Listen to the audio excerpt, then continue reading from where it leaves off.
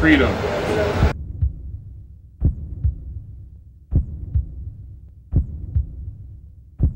What is freedom?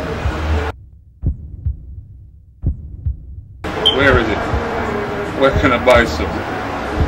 Where do they sell it? So.